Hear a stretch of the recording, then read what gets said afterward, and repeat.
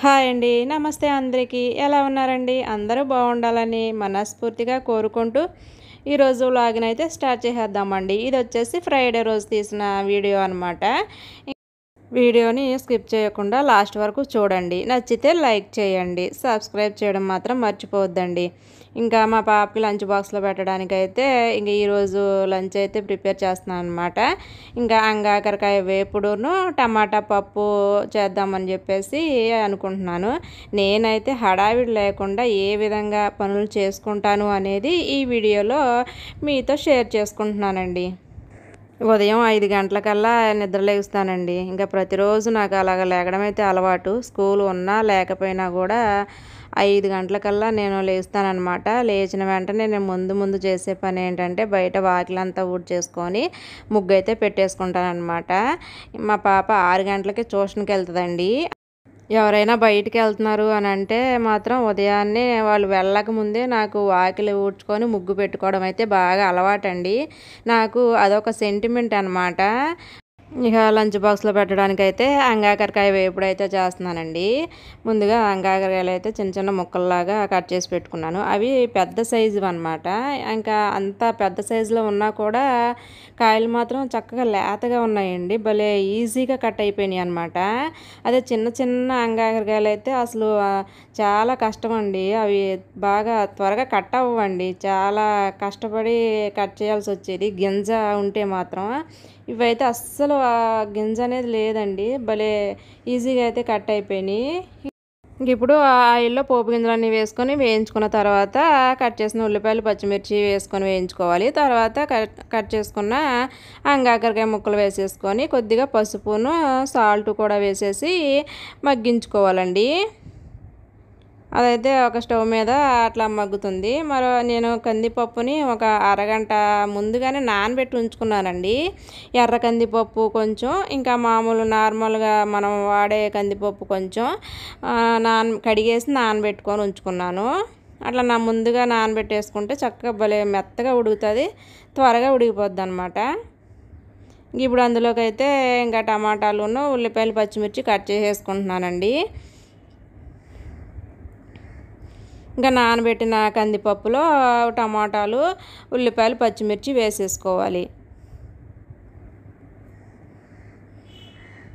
కొద్దిగా పసుపు తగినంత కారం అలాగే చింతపండు వేసేసుకొని అవి మునిగేంత వరకు వాటర్ పోసేసి కుక్కర్ మూత పెట్టేసుకొని ఒక నాలుగు విజిల్స్ వచ్చేంత వరకు ఉడికించుకోవాలండి. రోజు పప్పు వండినా కూడా మా పిల్లలు తినేస్తారండి. అస్సలు ఇంకేం మాట్లాడరు అనమాట అంత ఇష్టం అండి పప్పు అంటే. ఇంకా యువతల స్టవ్ మీద కుక్కర్ పెట్టేసుకొని అవతల స్టవ్ మీద అంగాకరకాయ వేపుడు పెట్టానండి. అవతల స్టవ్ అయితే చిన్న మంట వస్తుందన్నమాట. త్వరగా ఉడకదు పప్పు అని చెప్పేసి యువతల స్టవ్ మీద అయితే పెట్టేసుకున్నాను. ఈ లోపల ఇంకా మనకి కుక్కర్ విజిల్స్ వచ్చేసే లోపల ఇడ్లీ కూడా వేసేసుకుంటున్నానండి. ఈరోజు టిఫిన్ ఇడ్లీను ఇంకా పల్లీల చట్నీ అయితే ఆల్రెడీ చేసాను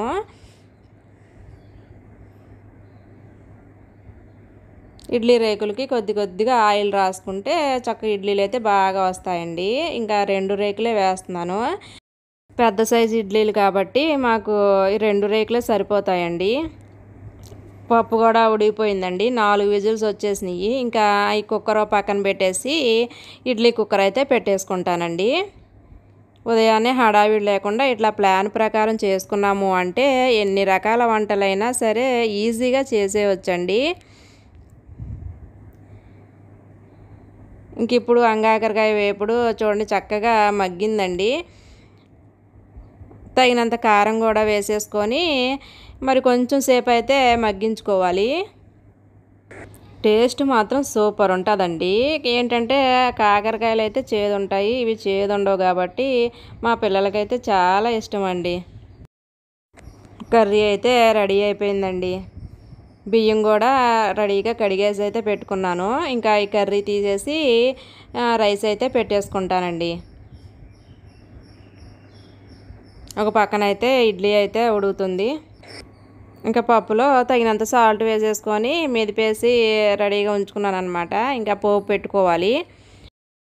గట్టిగా ఉంది అనిపిస్తే కొద్దిగా వాటర్ కలుపుకోవచ్చండి. వాటర్ కలుపుకున్న తర్వాత స్టవ్ మీద పెట్టుకొని మరొక రెండు మూడు నిమిషాలు అయితే ఉడికించుకోవాలి. ఇంకా కర్రీ అయితే అయిపోయిందండి. ఇంక ఇప్పుడు రైస్ పెట్టేసుకున్నాను. ఇంకా ఈ లోపల అయితే ఈ చిన్న చిన్న పనులు అయితే చేస్తున్నానండి. మాకైతే ఇప్పుడు వాటర్ వస్తాయన్నమాట కుళాయి వాటర్. ఏడు ఏడున్నర మధ్యలో కుళాయి వాటర్ వస్తాయండి. ఇంకా రాగి బిందె అయితే తోముతున్నానండి. తోమేసి ఒక నాలుగు రోజులు ఐదు రోజులు అవుతుంది. అందుకని చెప్పేసి "హే, ఈరోజు తోమేసుకుందాము నేను యాక్చువల్గా అయితే నైట్ తోమేసుకొని ఇంకా వాటర్తో నింపుకొని ఉంచుకుంటానండి తెల్లవారి తాగడానికి. రాత్రి కొంచెం నీరసంగా ఉండి బద్దకించాను అనమాట అందుకని ఇంకా ఈరోజు తోముతున్నాను. నిమ్మ చెక్క సాల్ట్ పెట్టేసి మనం రాగి బిందులు కానీ రాగి సామాన్లు ఏదైనా సరే తోముకుంటే చక్కగా తెల్లగా తలతలా మెరుస్తాయండి. చాలా బాగా తెల్లగా వస్తాయి. చూడండి ఎంత బాగుందో బింది. ఇప్పుడైతే వాటర్ ఒకటి తెచ్చుకోవాలి కిందకెళ్ళి. ఇంకా ఈ లోపల వాటర్ బాటిల్ అయితే క్లీన్ చేస్తున్నానండి.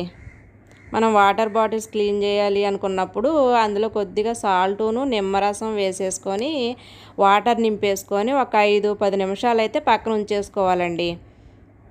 అలా ఉంచుకొని ఆ తర్వాత మనం క్లీన్ చేసుకోవాలి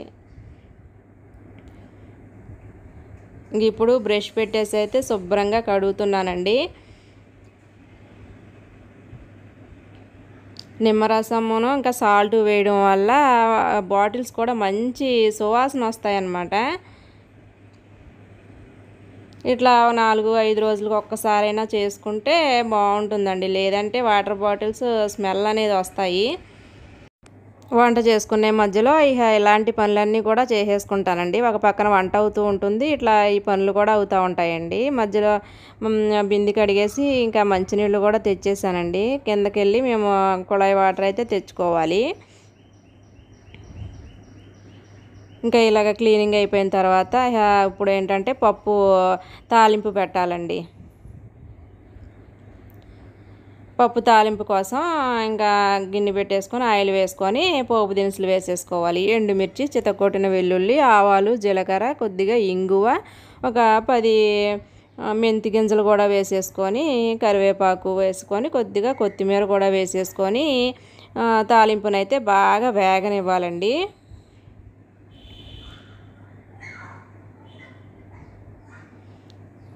తాలింపు వేగిన తర్వాత ఇంకా పప్పు అయితే ఒక నాలుగైదు నిమిషాలు అయితే నేను ఉడికించాను అనమాట మా వాళ్ళకి మరీ గట్టిగా ఉంటే తినబుద్ధి కాదు. అందుకనే వాళ్ళు తినే విధంగా ఎట్లా అయితే తింటారో అట్లా కొద్దిగా వాటర్ని అయితే పోసేసి కొంచెం పలసగా అయితే చేశాను.